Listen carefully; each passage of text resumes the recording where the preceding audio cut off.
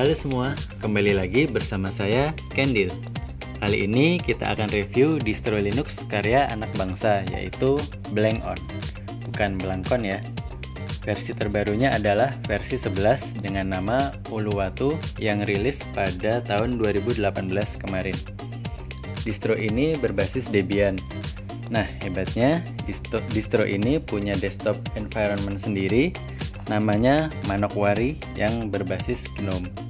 Kerennya lagi, ini distro support touchscreen nih. Sayangnya PC saya nggak bisa touchscreen. Tujuan pengembangan Blank On adalah menghasilkan distro Linux yang sesuai dengan kebutuhan pengguna komputer umum di Indonesia, khususnya untuk dunia pendidikan, perkantoran, dan pemerintahan. Arti filosofi Blank On adalah harapan agar pengguna distro Blank On berubah dari belum sadar atau blank menjadi sadar on bahwa ada Linux yang bisa dimanfaatkan untuk meningkatkan kemampuan di bidang TI, martabat, dan kemandirian bangsa Indonesia. Hmm, keren-keren. Sekarang mari kita bahas kerennya Blank On. Yang pertama adalah user interface. Seperti info di awal, Blank On punya desktop environment sendiri yang tidak akan ditemui di distro atau OS lainnya. Dan menurut saya ini tampilannya simple dan keren abis. Sekarang kita bahas untuk fitur dan aplikasi. Mulai dari yang kasual seperti memutar video, browsing, aplikasi Office seperti document writing, spreadsheet, dan presentasi.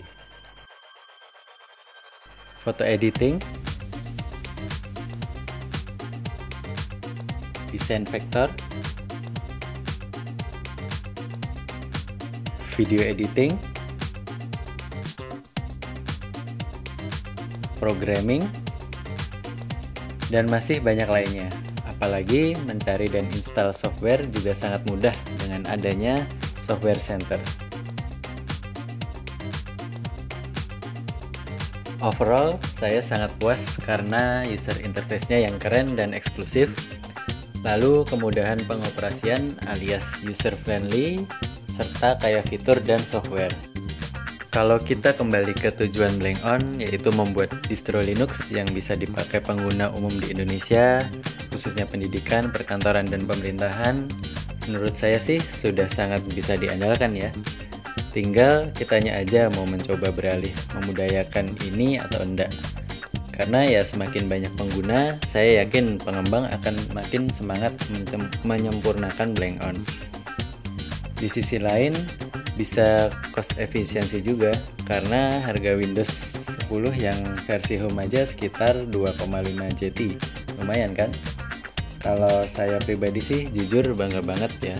Tahu bangsa kita punya distro sendiri apalagi kalau dipakai secara massal. Mungkin cukup sekian dulu ya. Maju terus developer Indonesia